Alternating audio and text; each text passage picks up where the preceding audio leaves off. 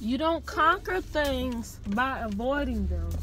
One thing for me that has been hard for me is reversing, like knowing that if you turn this way, you're actually turning the car this way. So if you turn the wheel this way, you're actually turning the car a different kind of way. So for me, it was kind of hard doing that. And then also for me, is what's hard is uh, like trying to park in between cars, like i.e. at home or you know at a residential area, and uh, like we have a certain allotted space, of course, and so trying to park within our realms and you know not hit the neighbor's car that is a challenge for me and so i will literally as i'm doing now i will keep going around the block until i feel that i have enough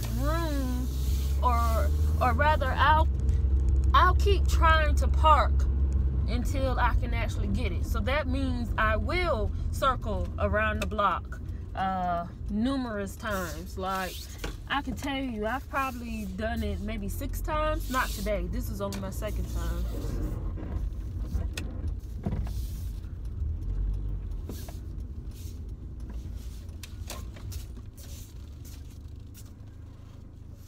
But um, I'm gonna cut this off because I'm trying to uh, reverse or something.